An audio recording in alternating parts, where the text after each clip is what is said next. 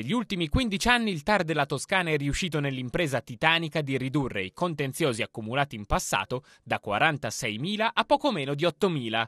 Un risultato significativo rivendicato con forza dal presidente del Tribunale amministrativo regionale Paolo Buonvino, che proprio sullo smaltimento degli arretrati ha incentrato la relazione con cui ha inaugurato l'anno giudiziario 2014 un risultato raggiunto nonostante l'organico ridotto. Oggi sono infatti 12 i magistrati in forza a Firenze, ma ne servirebbero altri due. Quello che si spera un, eh, anche attraverso un programma straordinario di abbattimento dell'arretrato di riuscire, che però eh, è ancora in fase sperimentale, di riuscire ad aumentare il numero di ricorsi da abbattere. Rimane poi da risolvere la questione dei tempi. Se le corsie preferenziali, riservate alle cause in materia elettorale o riguardanti appalti per lavori e servizi, consentono al TAR di arrivare a sentenza definitiva entro sei mesi, così non è per le procedure ordinarie. Attualmente i ricorsi più vecchi, almeno eh, in prima e seconda sezione, sono quelli del 2008-2009, quindi diciamo, si viaggia sui cinque anni mediamente al massimo. Il vero problema però è che troppo spesso si ricorre al TAR senza motivo, se è vero che delle 1531 sentenze definitive emesse nel 2013, il Tribunale toscano ne ha accolte meno di un terzo. Entro la fine del 2014, se non addirittura entro il prossimo settembre, la Regione Toscana conta di completare la gara per affidare a un unico gestore il servizio di trasporto pubblico locale, 100 milioni di chilometri all'anno su gomma per un corrispettivo di 160 milioni di euro.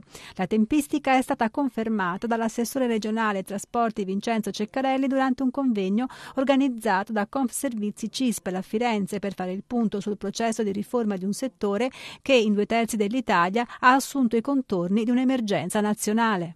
Oggi abbiamo 1250 aziende in Italia, 55% delle quali sono comunali tecnicamente già fallite, possono portare libri in tribunale e purtroppo abbiamo commissariato anche diverse eh, aziende, soprattutto al sud, dove i mezzi funzionano al 15%, 20%. In questo quadro la Toscana, grazie alla gara per il gestore unico e non solo, rappresenta invece un modello. Ci sono già molte offerte che sono arrivate, noi ci siamo come aziende toscane pubbliche e private e questo è un grande segnale che noi oggi vogliamo dare qui da Firenze, siamo riusciti ad integrarci a fare sistema superando i localismi e superando ognuno le proprie storie. Chiediamo con la stessa forza eh, che i finanziamenti siano certi, arrivino con puntualità, si superino tutti quei lodi con le province che in qualche modo ancora attanagliano il vecchio sistema di gare. La riforma del TPL, ha detto D'Angelis, ormai è pronta e il nuovo governo Renzi dovrà decidere se portarla avanti o meno, dando magari maggiori certezze al Fondo Nazionale Trasporti di importanza strategica nella programmazione degli interventi. Certo, non si può pensare che questo fondo cresca. Eh, credo che nelle condizioni economiche e finanziarie del nostro Paese bisogna lavorare molto sull'efficienza, ma mi sembra che questo sia quello che si sta facendo, quindi sono moderatamente ottimista.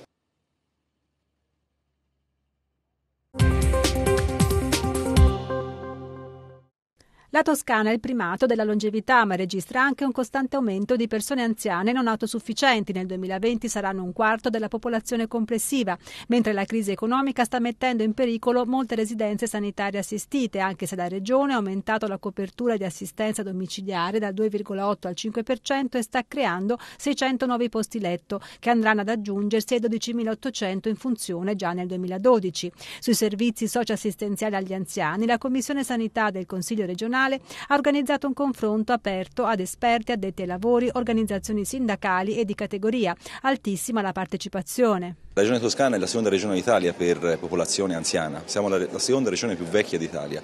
È ovvio che dalla qualità delle risposte eh, sociosanitarie e quindi di assistenza agli anziani si misura la qualità poi di un'amministrazione regionale e anche di tutta una società. Sicuramente stamani i dati che raccoglieremo ci aiuteranno a fare valutazioni più attuali e più concrete. Poi c'è il nuovo assessore Saccardi che segue questo tema e che lo conosce in maniera molto approfondita, beh, anche con lei la quarta commissione dovrà iniziare un percorso di confronto. Percorso di confronto che comprenderà l'intero nuovo piano sociosanitario integrato appena approvato dalla Giunta regionale e ora all'attenzione del Consiglio. Dovremo capire, ha detto il Presidente della Commissione Sanità, se il pensiero del nuovo assessore è in linea con i documenti trasmessi. E a me pare di no, ha concluso Remaschi. Il Presidente della Regione Enrico Rossi, che considera il piano una delle priorità di fine mandato, è avvisato.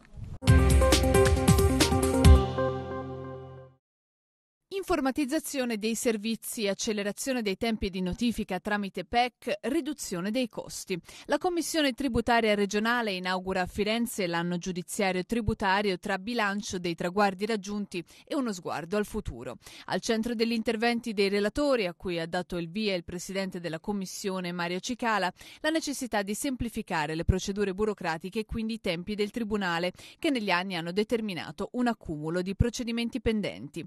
Procedimenti procedimenti che in realtà sono già diminuiti dai 12.708 del 2012 ai 5.995 nei primi mesi del 2014. In calo anche il numero di ricorsi e appelli nel 2013 rispetto all'anno precedente, 100 in meno nella provincia di Firenze e Massa Carrara, qualche decina in meno a Pisa e Pistoia, diminuzione di oltre 100 casi a Lucca, Arezzo, Siena e Prato. Tra gli auspici dei relatori la possibilità di ricorrere al giudice monocratico automatico per le controversie che riguardano cifre inferiori ai 20.000 euro ed uno sviluppo sempre più importante delle procedure informatiche che apriranno la strada in Toscana già a partire dalla fine del 2014 alle udienze telematiche.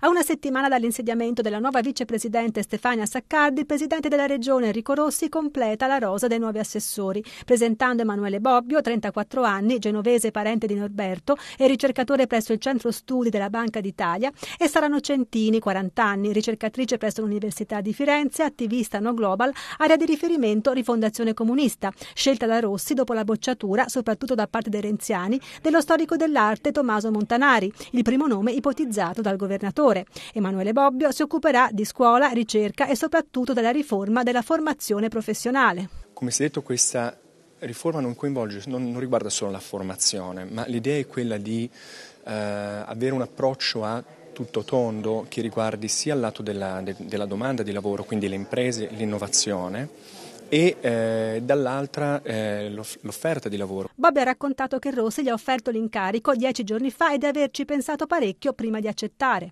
però eh, alla fine mi sono detto che, ehm, che, la mia generazione deve cominciare ad assumersi queste, queste responsabilità. Io ho studiato a lungo e eh, è arrivato forse il momento di mettere queste competenze in, in gioco.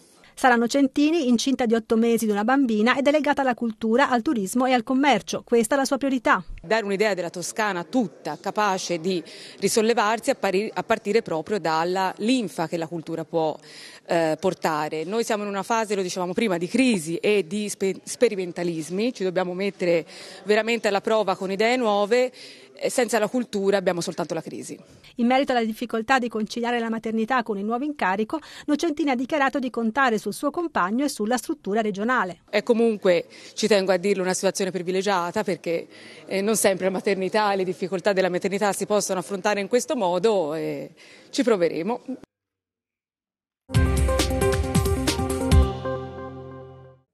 Cambia qualche carta in tavola, ma la maggioranza di centro-sinistra in Consiglio regionale conferma la fiducia al governatore Enrico Rossi.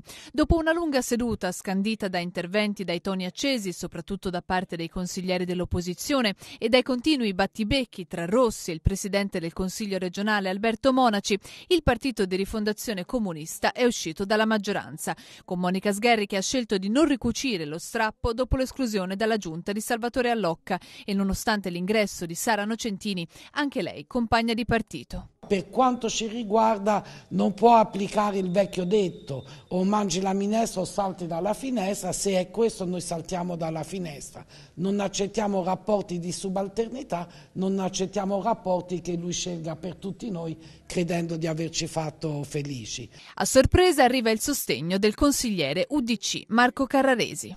Questo non significa entrare ovviamente in maggioranza, non significa rinnegare il mandato degli elettori, significa semplicemente, come ha detto qualcuno, fare quest'ultimo anno, quest'ultimo miglio, condividendo nell'interesse dei cittadini toscani delle questioni e delle, dei problemi che hanno necessità di urgente risoluzione. Diviso il centro democratico per la sostituzione in giunta di Cristina Scaletti. Vota a favore Rudi Russo dopo il pressing del PD, ma esce dall'aula la capogruppo Maria Luisa Chincarini. Allora Rossi ha piegato l'istituzione Regione Toscana a interessi personali e squisitamente interni al PD.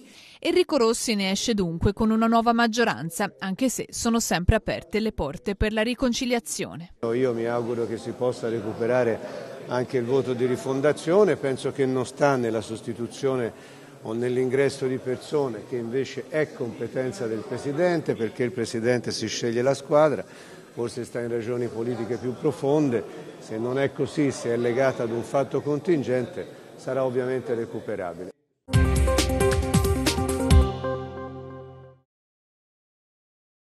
Per trovare le coperture necessarie ad abbassare le tasse su imprese e lavoro, vera priorità per il sistema paese, il governo Renzi deve mettere mano alla spesa improduttiva, dalle concessioni alle esternalizzazioni, anche a costo di scontentare le lobby. Il segretario della CISL, Raffaele Bonanni, arrivato a Firenze per illustrare ai 600 delegati presenti nella sala del Palazzo degli Affari l'accordo sulla rappresentanza siglato da CGL, CISL e WIL il 10 gennaio scorso, vincola il sostegno del sindacato al coraggio che mostrerà il nuovo esecutivo nel prossimo futuro. Siccome nel Paese oramai c'è uno scontro fortissimo tra la gente che produce e la gente che vive di rendita, non c'è una via di mezzo, o da una parte o dall'altra.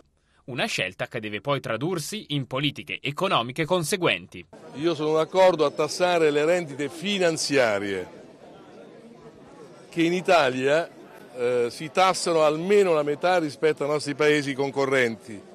Non i bot o altro ancora, significa andare contro la nonna e la zia, significa andare anche contro il debito pubblico.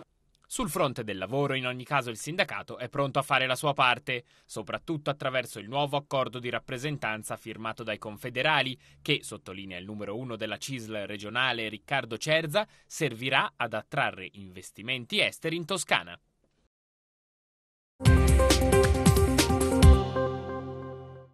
Supera il mezzo miliardo di euro il danno erariale che emerge dalle pratiche in carico alla sezione toscana della Corte dei Conti, secondo i dati diffusi in occasione dell'inaugurazione del nuovo anno giudiziario. Nel 2013 l'ammontare delle richieste di risarcimento avanzate dalla Corte nei riguardi di amministratori, funzionari e agenti pubblici sono quintuplicate. Sempre nel 2013 sono pervenute alla Procura 1745 denunce di danno erariale, che si sono aggiunte alle oltre 3.000 pendenti dall'anno prima. L'esame dei conti economali, ha detto il presidente Francesco Pezzella, ha evidenziato ancora una volta gestioni confuse e dense di irregolarità. Da segnalare che le sentenze di condanna vengono eseguite con la possibilità per i condannati di rateizzare le somme che devono restituire fino a 90 anni, quindi molto al di sopra delle loro aspettative di vita. Per quanto riguarda le indagini sugli stipendi dei dipendenti del comune di Firenze, la Corte ha precisato che le verifiche hanno messo in luce un uso inappropriato e distorto della contrattazione decentrata. Del tutto illegittimi invece, ha detto la Corte, i ricorsi presentati dai gruppi consigliari in Regione contro la richiesta di documentare le spese fatte con fondi pubblici.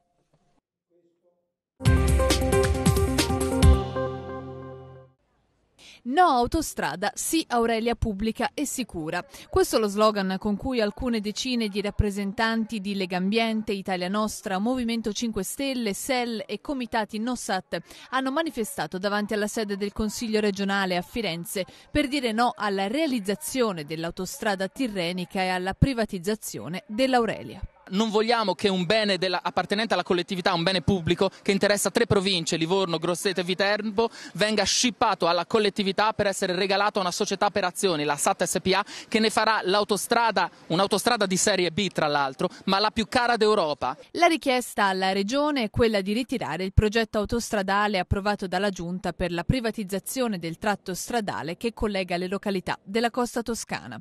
Forze politiche, cittadini e comitati chiedono che l'Aurelia Aurelia sia messa in sicurezza nei tratti più critici e mantenuta pubblica.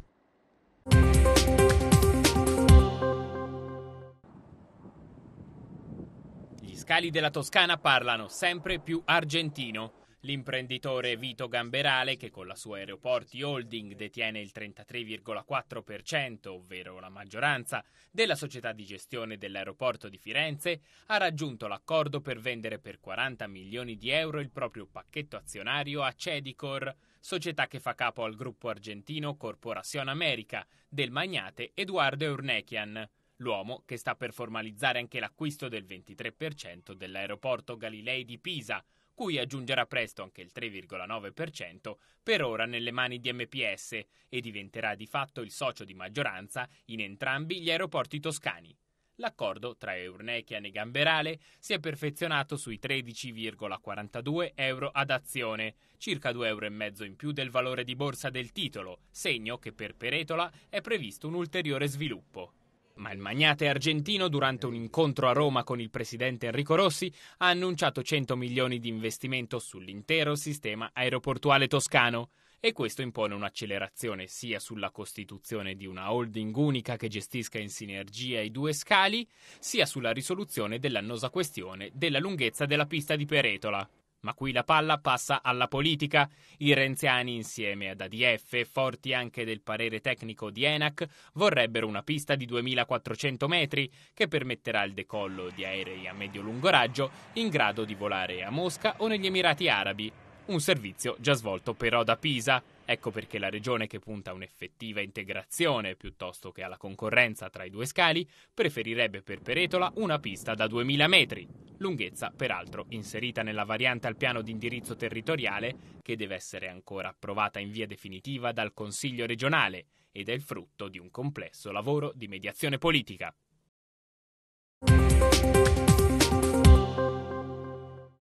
Finalmente vengono attivati in Toscana gli sconti sull'IRAP per le aziende che finanziano iniziative culturali o contribuiscono alla tutela e alla valorizzazione del paesaggio. La Giunta regionale ha dato il via libera al relativo regolamento che prevede di scontare sull'IRAP il 20% di quanto investito, ad esempio, per un festival teatrale o il restauro di un quadro o di un edificio vincolato. I beneficiari dei finanziamenti dovranno essere enti pubblici o privati e associazioni senza scopo di lucro, con l'esclusione di banche, fondazioni bancarie e assicurazioni. Lo sconto si attiverà nel 2015 con la dichiarazione dei redditi maturati quest'anno. Insomma, in questi tempi di crisi la Regione continua a puntare su cultura e paesaggio. Per questo non abbiamo tolto un euro diciamo, da quelli che sono investimenti della Regione, però vista anche la situazione com'è, se riusciamo a incentivare anche un intervento del privato e dare adesso anche delle facilitazioni, pensiamo possa essere una cosa virtuosa che peraltro vedo stanno osservando anche le altre regioni. Le domande presentate in regione per beneficiare dello sconto sull'IRAP saranno accolte in base all'ordine di presentazione fino all'esaurimento del milione di euro stanziato dalla regione a copertura del mancato introito dall'IRAP.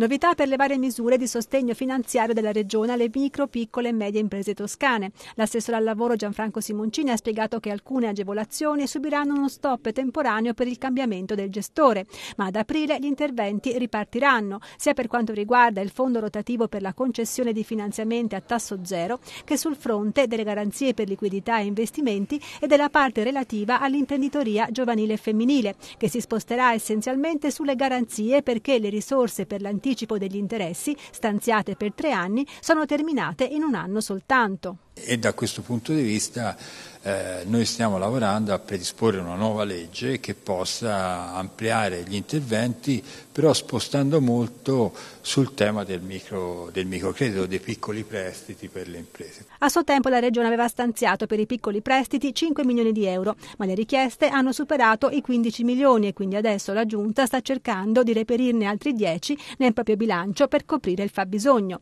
Dei nuovi fondi strutturali, 47 milioni saranno destinati proprio agli aiuti alle imprese. 47 milioni che come minimo avranno un effetto leva 10, cioè con 47 milioni noi potremmo attivare un credito per le imprese che è sicuramente superiore a 450-470 milioni.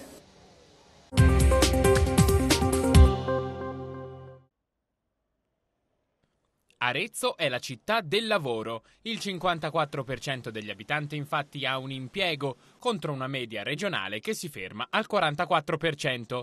Per questo motivo il presidente Enrico Rossi, giunto alla quindicesima tappa del suo viaggio in Toscana, come prima cosa arrivato in città, ha voluto incontrare i rappresentanti delle categorie economiche industriali, agricoltori, commercianti, tutti schierati nella sala del Consiglio Comunale di Arezzo per chiedere alla Regione di non lasciarli soli in una fase in cui l'uscita dalla crisi sembra portata di mano. La mia opinione è che bisogna conciliare la difesa del manifatturiero, il turismo, la cultura, su cui si fanno qui anche altri interventi come il recupero della fortezza finanziato anche dalla Regione Toscana attraverso i fondi comunitari e poi i nuovi fondi comunitari metterli soprattutto a disposizione dell'impresa dinamica che produce, che è sana, che si sviluppa perché questa possa trainare anche il resto della Toscana e saranno 800 milioni per la precisione i fondi europei che la Toscana potrà destinare alle imprese virtuose e capaci di innovare.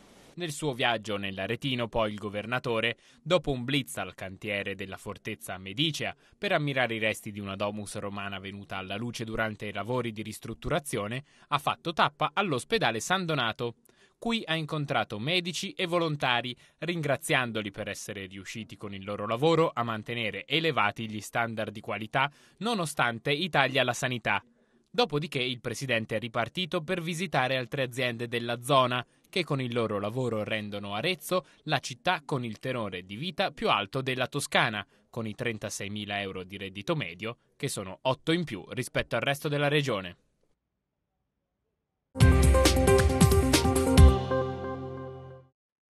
Nel 2013 il Consiglio regionale toscano ha operato in un contesto particolarmente incerto visto che la crisi economica ha reso più invasivi gli interventi dello Stato. Il rapporto annuale è stato presentato dal Presidente del Consiglio Alberto Monaci con il Segretario Generale Alberto Chelini e la dirigente Gemma Pastore. Rispetto al 2012 le leggi approvate sono diminuite passando da 65 a 60. Sono invece aumentate le proposte di iniziativa consigliare, 54 in tutto, mentre solo due proposte sono arrivate dall'ufficio di presidenza non ce ne sono state di iniziativa popolare. Il presidente Monaci ha sottolineato l'importanza del dibattito consigliare e il prezioso contributo fornito da tutti i collaboratori del Consiglio, compresi quelli dei gruppi. Insomma, anche da lì arriva tanto, tanto lavoro importante, non è che a volte no, non magari compiutamente allineato, però questo è il frutto poi delle leggi che riusciamo a portare in fondo e normalmente azzarderei dire sono eccellenti. L'intervento legislativo principale del 2013 è stata la legge statutaria che ha ridotto il numero dei consiglieri da 55 a 40 a partire dalla prossima legislatura.